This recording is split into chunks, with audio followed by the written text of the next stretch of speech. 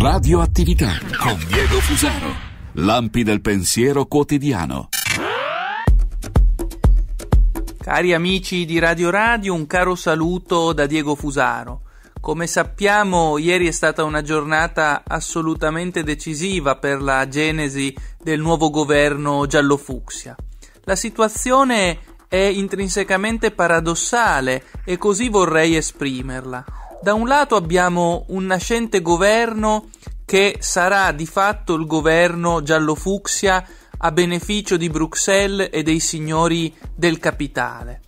Dall'altra abbiamo una opposizione che nasce già intrinsecamente debole a propria volta, perché in effetti sorge spontanea la domanda qual è il senso dell'operato di chi ieri, e merita di essere rispettato senz'altro, è sceso in piazza? Si è votato nel 2012, poi qualcuno, ossia Matteo Salvini, ha irresponsabilmente staccato la spina ed è uscito sbattendo la porta. Dunque qual è il senso dello scendere in piazza per protestare contro il nuovo governo? Non bastava forse non staccare la spina e rimanere nella cabina di comando a portare avanti il progetto iniziato? Il paradosso, dicevo, è che abbiamo un governo che sarà un governo contro gli italiani e contro le classi lavoratrici, sarà un governo di maggiordomi del capitale transnazionale e eurocratico da una parte e dall'altra abbiamo un'opposizione che è fisiologicamente debole perché essa stessa responsabile di questo sciagurato governo giallo-fucsia. In ciò sta la responsabilità, dicevo, di Matteo Salvini e della Lega per aver inopportunamente e di più irresponsabilmente staccato la spina consegnando le chiavi del paese ai giallo-fucsia.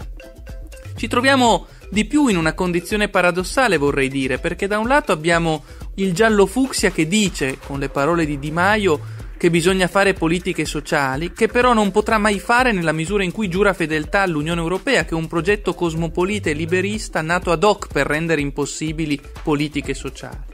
Dall'altra abbiamo il movimento Verde Bluette, quello delle destre liberiste, che dice, sono parole di ieri testuali della Gelmini, di non voler fare politiche sociali, che pure potrebbe fare mediante la sovranità che rivendica apertamente.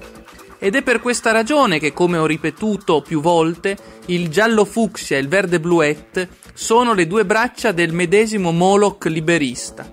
Ed è per questo, non mi stancherò di ripeterlo, che ci vuole un nuovo soggetto che sia insieme sovranista e socialista, che cioè difenda le politiche sociali mediante la sovranità nazionale. In un surreale intervento, Del Rio si è rivelato a tal punto icofobo ieri, ossia spregiatore dell'Italia, che ha usato la formula quando andiamo in Europa, quasi come se l'Italia non appartenesse all'Europa e si trovasse per dire in Asia.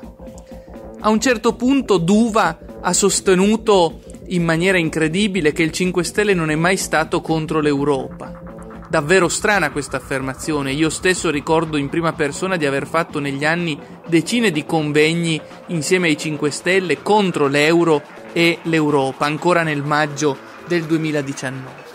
La situazione quindi è incredibilmente tragica, ma non seria, se vogliamo dire così. Tali e tante sono le contraddizioni.